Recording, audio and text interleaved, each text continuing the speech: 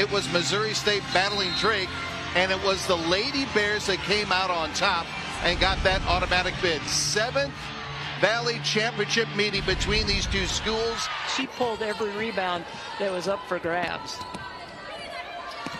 Miller at the baseline. Good denial by Becker. Bodies flying all over the floor. Stokes comes away with it.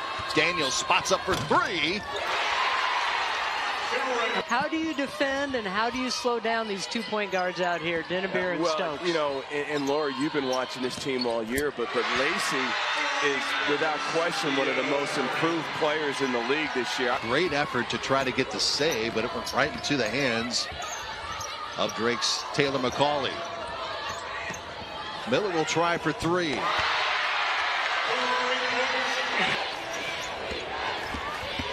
Berg cut off.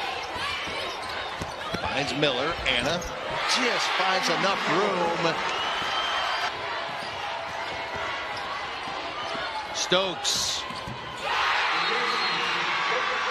And the timeout by Drake with 2.6 remaining.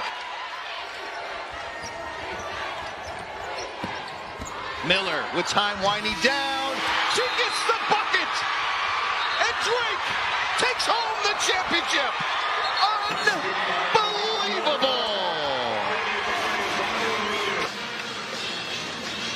Here it is again.